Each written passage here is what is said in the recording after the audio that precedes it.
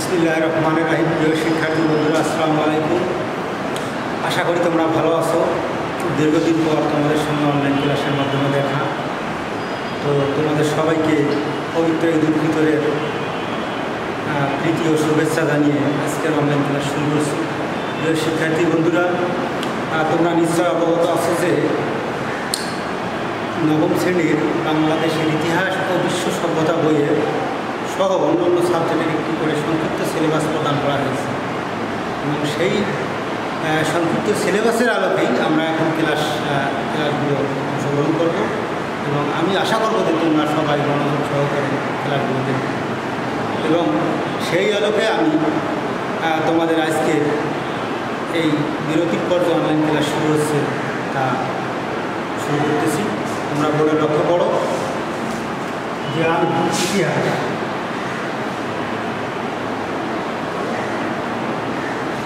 প্রথম থাকবে। ইতিহাস পরিস্থিতি। পরিস্থিতি। দ্বিতীয় অধ্যায় বিশ্ব সভ্যতা।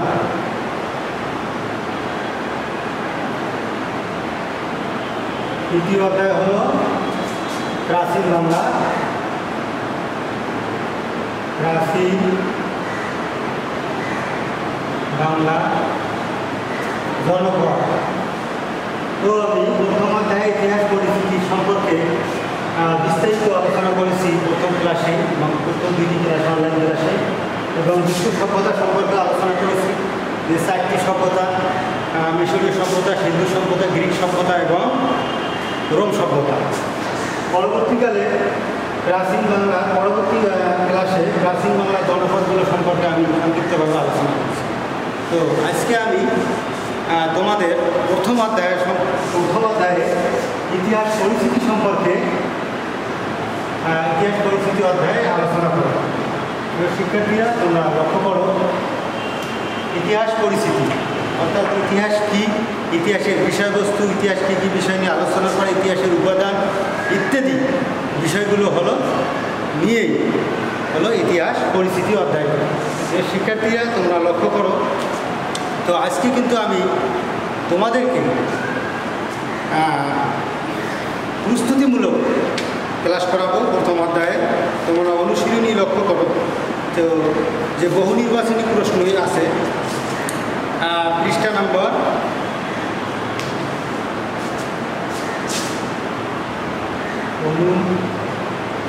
অনুশীলন মূলক প্রশ্ন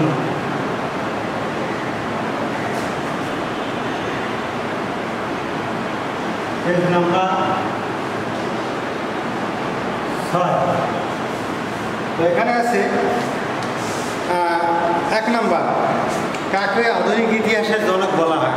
শিক্ষার্থীরা, তোমরা নিশ্চয় জানো, ইতিপূর্বে আমি আলোচনা করেছি যে ইতিহাসের জনক দুজন।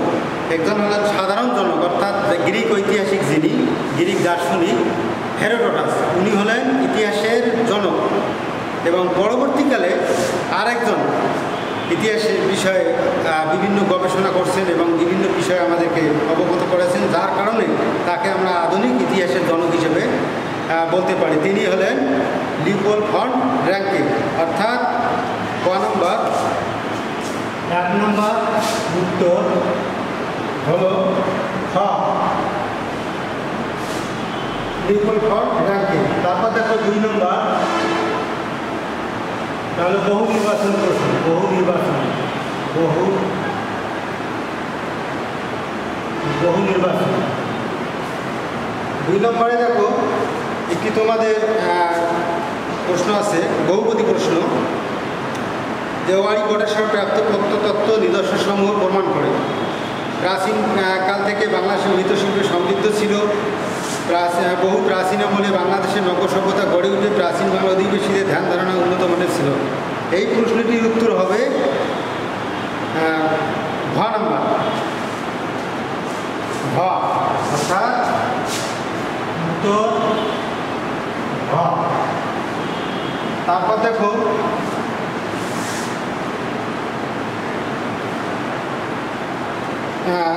তিন নম্বর আছে, তিন ও চার নম্বর। উদ্দীপকটি পড়ো অর্থাৎ একটি জ্ঞানমূলক প্রশ্ন, অনুধাবনমূলক প্রশ্ন।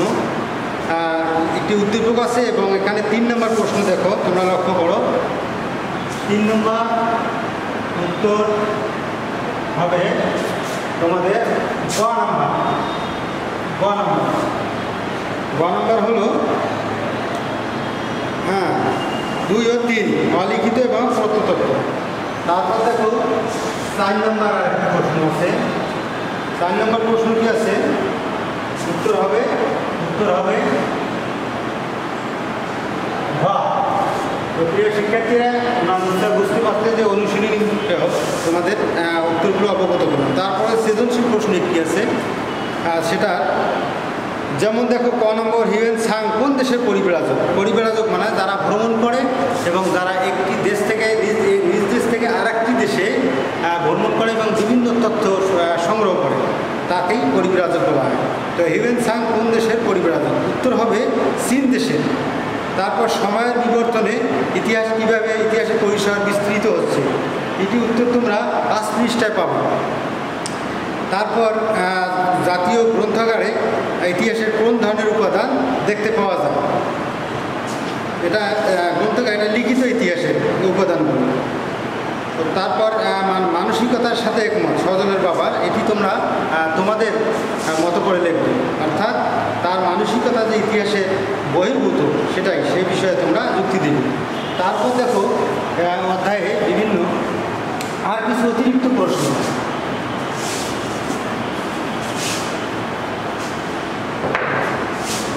অতিরিক্ত প্রশ্ন।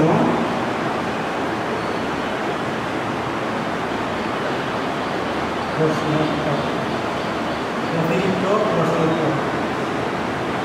দেখো, এক নম্বর দেখো, ইতিহাসে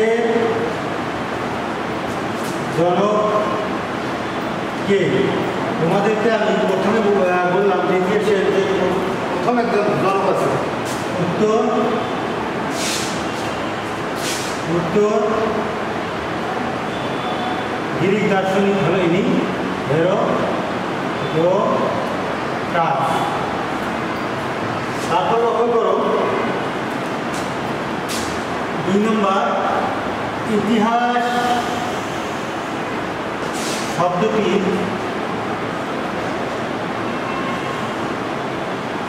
ইতিহাস শব্দটির উৎপত্তি কোন শব্দ থেকে উত্তর হবে ইতি শব্দ থেকে তাহলে শিক্ষার্থী বন্ধু এরপর তোমরা লক্ষ্য করো আহ, তিন নম্বর তোমাদের কয়েকটি সংক্ষিপ্ত প্রশ্ন দিচ্ছি এগুলো তোমরা আহ, বাসায় প্র্যাকটিস করবে তিন নম্বর ইতিহাস শব্দটির সন্ধি বিশ্বের কি উত্তর ইতি যোগ আস ইতি যোগ আস তারপর দেখো চার নম্বর। ইতিহাস শব্দটির ইংরেজি প্রতিশব্দ হলো হিস্টোরি সেই হিস্টোরি শব্দটি আবার কোন শব্দ থেকে উৎপত্তি? হিস্টোরি শব্দটির উৎপত্তি কোন শব্দ? থেকে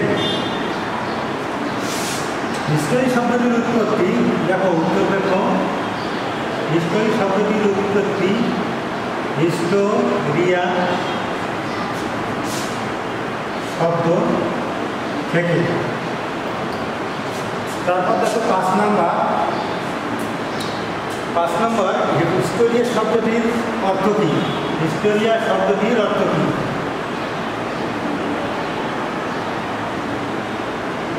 ভিক্টোরিয়া শব্দটি অর্থ কি? খুবই গুরুত্বপূর্ণ প্রশ্ন এগুলো। উত্তর সত্তানু সন্ধান। অর্থাৎ সত্যানুসন্ধান মানে সত্যের অনুসন্ধান করা।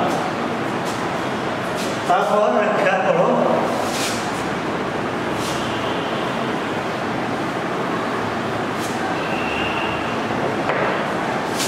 আরেকটি প্রশ্ন দেখো কুয়ারি বটেশ্বর, যা প্রায় দুই হাজার পাঁচশো বছর আগে, আড়াই হাজার বছর পূর্বে এখানে প্রত্নতত্ত্বগুলো আবিষ্কৃত ছিল যা এখন আবিষ্কৃত হয়েছে কুয়ারি বটেশ্বর কোন জেলায় অবস্থিত? এটি দুই হাজার আঠারো সালে এসএসসি পরীক্ষা ছিল প্রশ্নটি। অবস্থিত। উত্তর হবে বাংলাদেশের মধ্যে নর নরসিংদী জেলা অবস্থিত। তারপর দেখো সাত নম্বর। ইতিহাসকে কয় ভাগে ভাগ করা আমি তোমাদের আলোচনা করেছি ইতিমধ্যে যে ইতিহাসকে প্রধানত কিন্তু দুই ভাগে আলোচনা করা। তারপর আবার অনেক ভাগ আছে। তো মূল প্রশ্ন হলো, ইতিহাসকে কয় ভাগে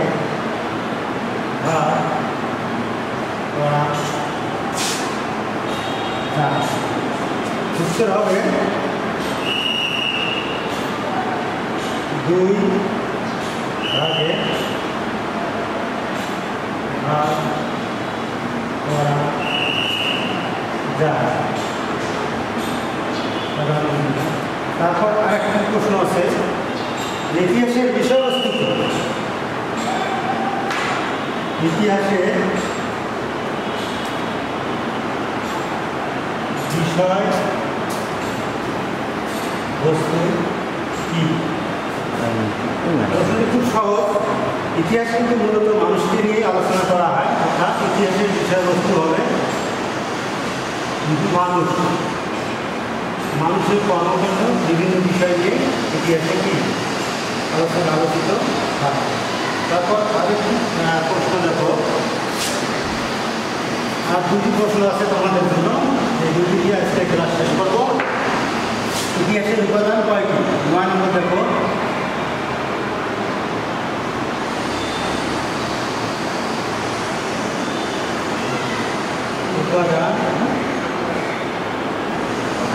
কয়টি উত্তর ইতিহাসের উপাদান দুইটি। তোমরা নিশ্চয় জানো যে একটি হলো লিখিত, আর একটি হলো অলিখিত উপাদান সর্বশেষ প্রশ্ন যদি এটি হলো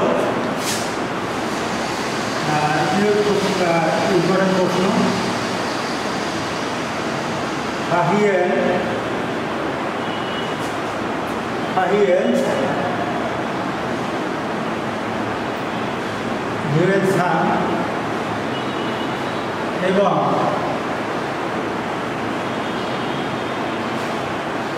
ইচ্ছে কোন দেশে পরিব্রাজক ছিলেন যে কথাটি আমি আলোচনা করলাম পরিব্রাজক ছিলেন অর্থাৎ তারা ভ্রমণকারী। উত্তর হবে তিন দেশে বা সৈনিক প্রিয় শিক্ষার্থীরা আমি আগামী সপ্তাহে তোমাদের দ্বিতীয় অধ্যায়ের প্রস্তুতিমূলক ক্লাস করাবো। এই পর্যন্ত সবাই ভালো থাকো, সুস্থ থাকো। আর সবাই আসসালামু আলাইকুম।